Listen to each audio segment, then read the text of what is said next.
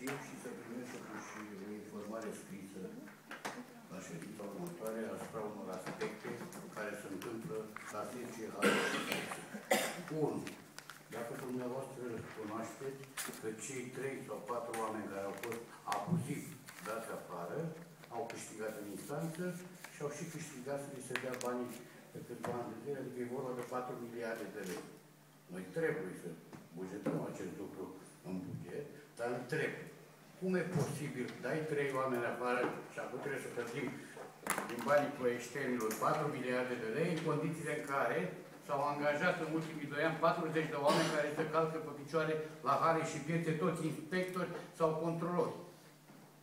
Doi, vreau să întreb și să primesc răspunsul dacă știți că la 10 ale și piețe s-a făcut și fraudarea.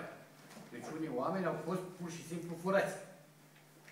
Dacă cineva știe, să-mi explice și mie că un dosar de acolo de la cei care au fost furați, am pe birou și vi-l pun și dumneavoastră la dispoziție. Trei. Am informația de la membrii AGA din, de la speciale și piețe, că se folosește de către conducere, în interes personal, autoturismul societății aproape zilnic, în deplasări mai lungi așa. Dacă se știe Unde, la cu nivelul ce lor. rută? Și mai, mai e o problemă. Ruta Ploiești Buzău. Și retur sau? Probabil. Probabil este următoarea. Nu, vine Eu, cu trenul. eu nu am drept răutate. Dacă vreau să știu dacă aceste lucruri sunt sau nu adevărate și dacă executivul primăriei municipiului Ploiești, a cărui societatea se subordează, cunosc aceste lucruri să ne răspundă și nouă în plen. Patru. Dacă acești bani vor fi dați din bugetul 10 ani și piețe, se va îndrepta recuper, să se recupereze acești bani de la cei vinovați? E foarte important. Nu putem să dăm niște bani așa pe abuz nu știu cui.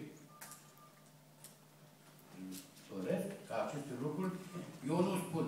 Și încă o dată, dacă se întâmplă atâtea lucruri rele acolo, ce rost are să mai ținem actuala conducere în funcție la 10 ani și fete și nu luăm anumite măsuri care să vadă lumea că ne interesează, pe noi Consiliul Local, Executivul Primăriei și așa mai departe. Oameni buni, sunt niște lucruri grave. Nu vrea nimeni să, să, să asculte ce se întâmplă acolo. Nimeni nu dorește să... Și atunci dumneavoastră veniți și ne propuneți noi aici să ne împrumutăm o sumedenie mare de bani, ușor de acord să facem alele centrale frumos, dar de ce nu am stabilit la nivelul primăriei, dacă tot noi am dat, girăm acest credit, o comisie să negocieze cu o bancă serioasă, să vadă dacă e posibil să plătim. Vom plăti mulți ani de aici încolo acest credit. Doresc ca la ședința viitoare să, să primesc acest credit. Mulțumesc.